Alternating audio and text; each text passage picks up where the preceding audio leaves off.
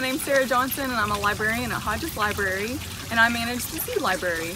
Today we're going to talk about the basics of seed planting like you would in a regular garden, but today we're going to use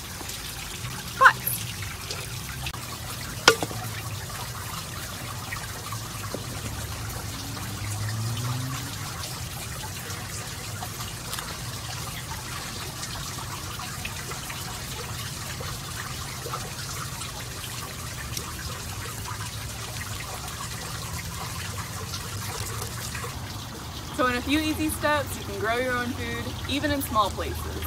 Stay tuned for the next video in the Little Green Thumb series.